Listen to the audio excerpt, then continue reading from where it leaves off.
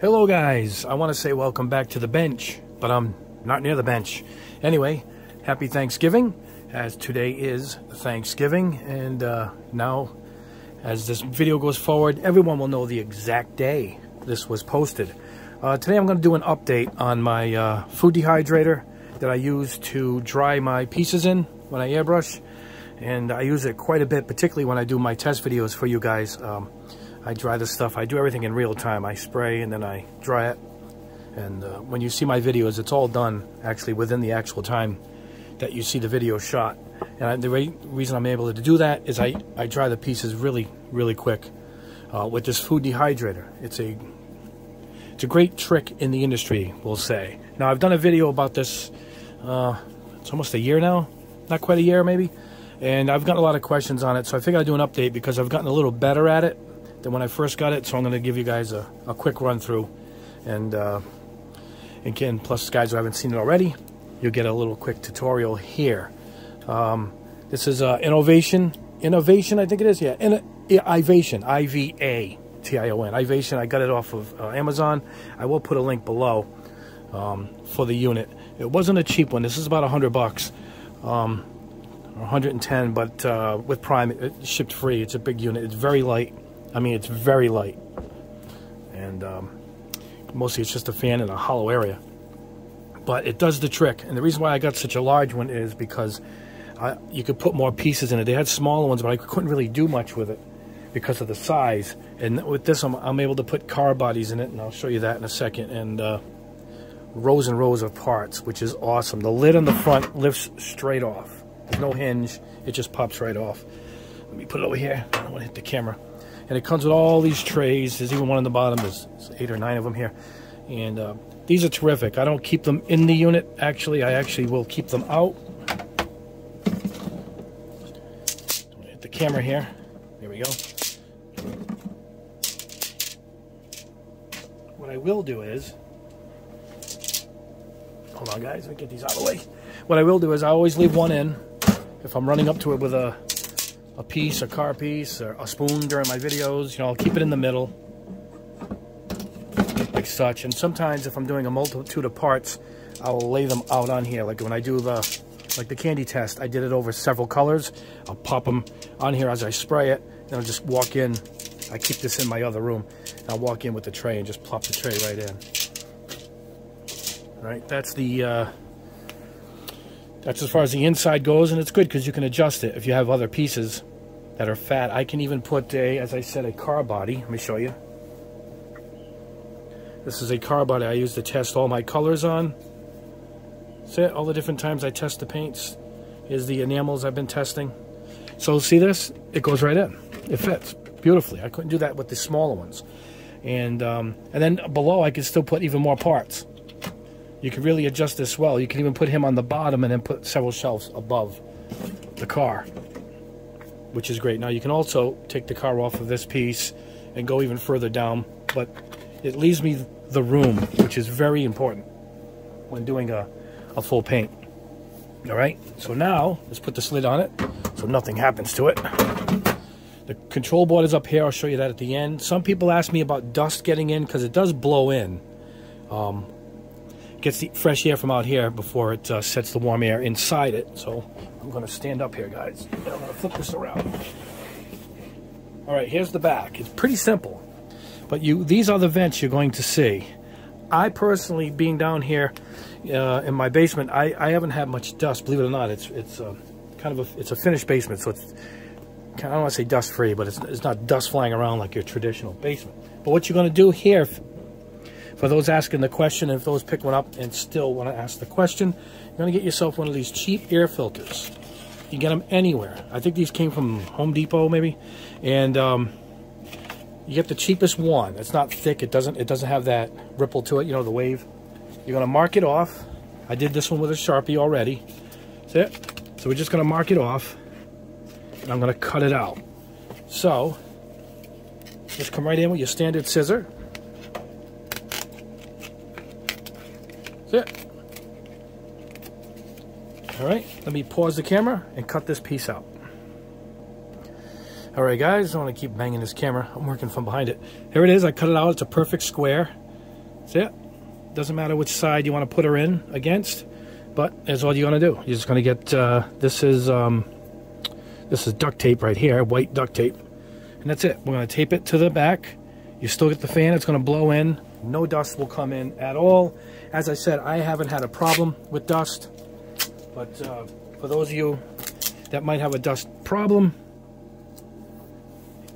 there is your solution. It's quick and easy and pretty cheap too. So now you are, hold on, one more piece of tape. You are dust free. Now I'm going to show you the settings I've been using this thing at. All right. I'm going to flip this back around. As you can see, it's really light. All right. Um, we are going to paint on a variety of different types of paints. I'll use this Alclad candy. This is an enamel. Splash Mecha Red. This is a lacquer. We'll use Model Air, which is an acrylic. Um, maybe I'll even do some Green Stuff World, this metal filter, which is a unique paint. So I'll paint a few pieces. I'll put them in, and in real time, I'll put it on. We'll go about five minutes, and then what I'll do is I'll take it out, and I can give you guys uh, real-time results to see how good this thing works and how fast it works. So um, I'm going to go ahead and paint those pieces. Um, I'll see you at the booth, and uh, we'll come right back. All right, guys, here we are back at the booth. Um, I'm standing a little further back than usual, but uh, anyway, we're going to go with this uh, aluminum covered spoon, black spoon. This has got the E7.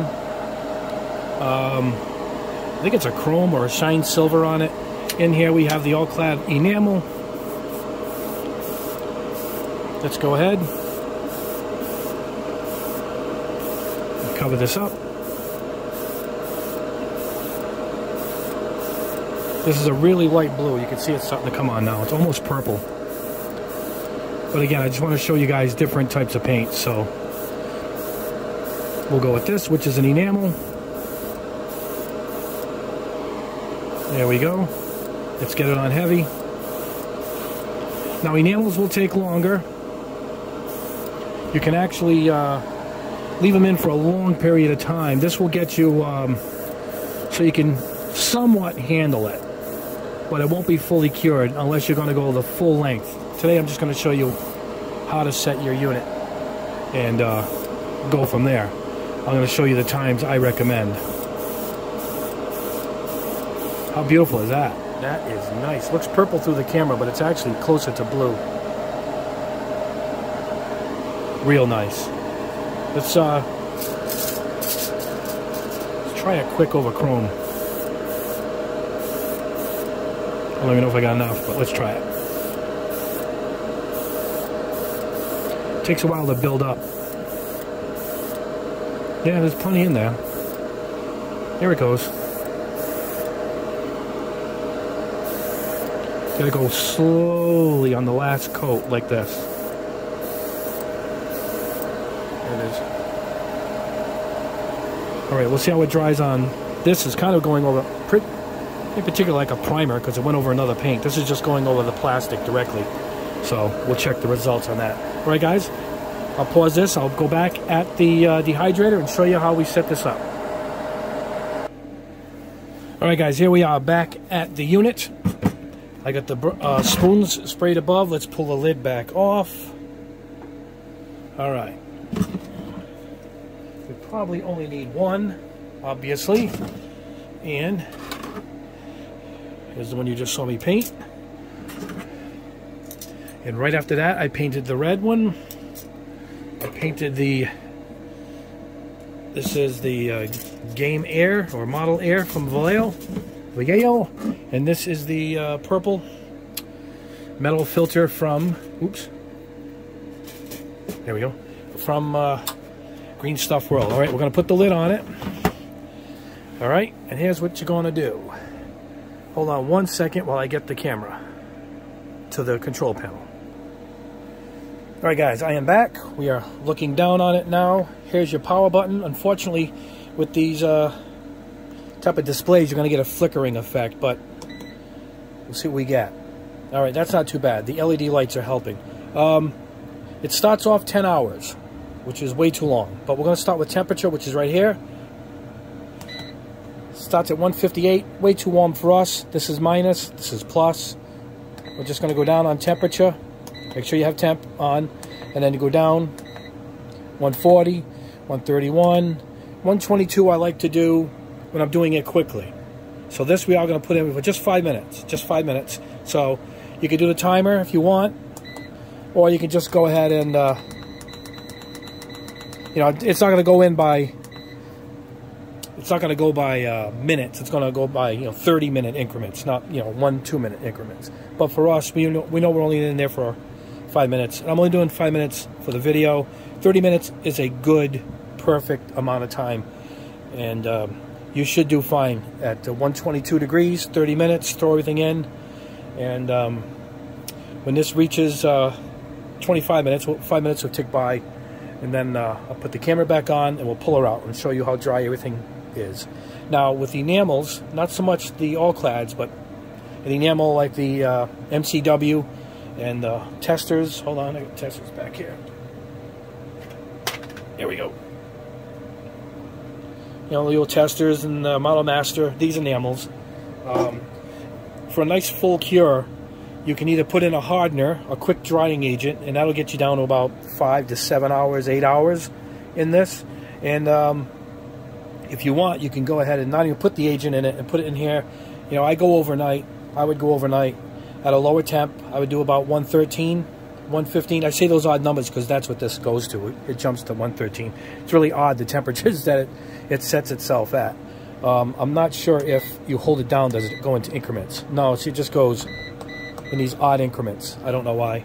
But uh, anyway, we'll let this sit. I'll pause the camera. I'll turn it back on in about three, four minutes. And we'll take it out in real time and I'll show you how nice uh, everything has dried. All right, guys, we're back in real time. It says 24, which means six minutes has passed by. Turn it off, and it uh, actually has like a cooling down period, like it's like 15, 20 seconds before the fan will actually turn off. Let's put this over here. Too much reflection. And here we go. Here is the uh, Green Stuff World dry. This is the Model Air. Model Air. Copper. Is this copper? Copper. Yep. Fully dry.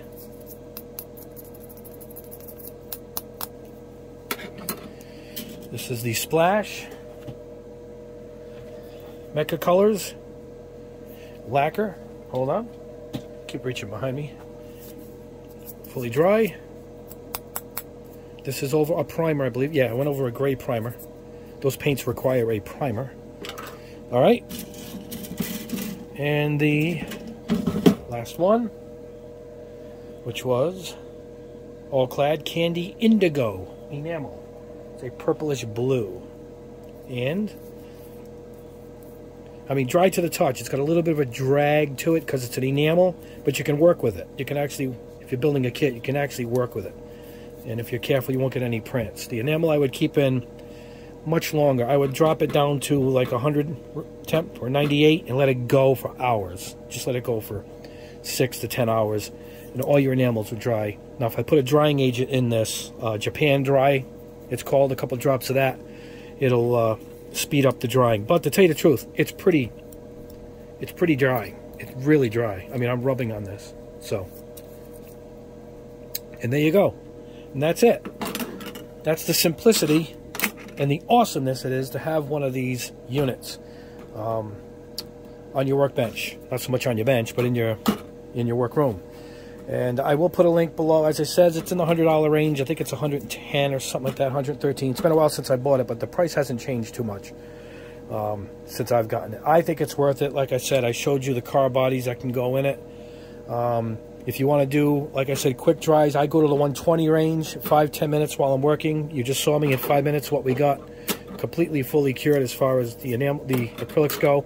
Earlier, I said you had to wait a little bit for the paints to uh, settle up. I don't. After my testing and throwing them in there quick, I found no difference. So you can spray them and put them straight into the unit.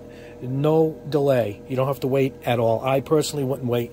You could just throw them right in. That's what I've discovered. I found no difference, and um, and they come out perfect. All, everything I put in here dries just just perfectly. So uh, I wouldn't worry about that. You can put them right in, close it, put on the time. Uh, I haven't gone over 120, whatever it is on this, 122, whatever that was. I haven't really had the need to go over that. And as you can see, it works perfect. And then I would drop it a little lower if I'm going to go a long period of time, particularly on a car body. Let me see.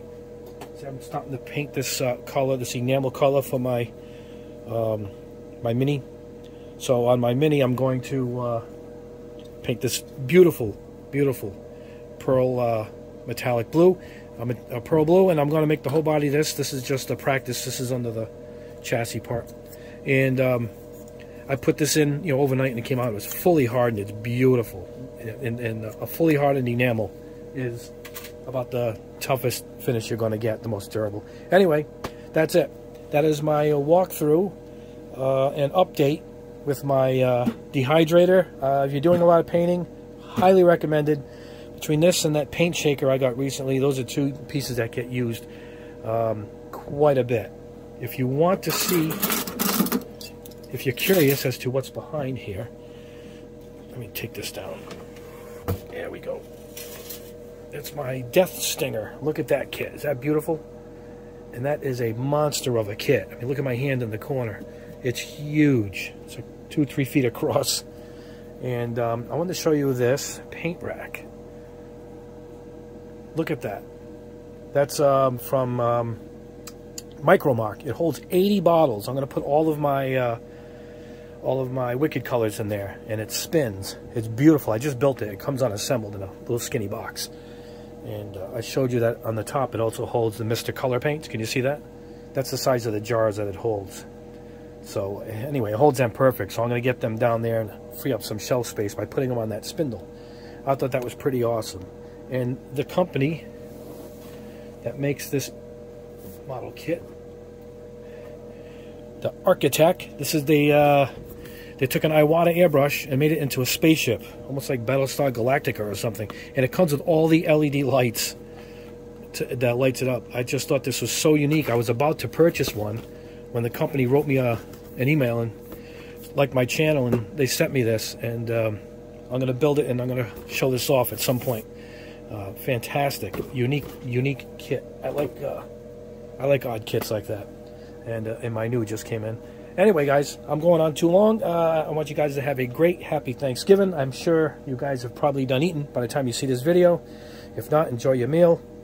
And uh, as I said with this unit, hold on, let me grab it one more time.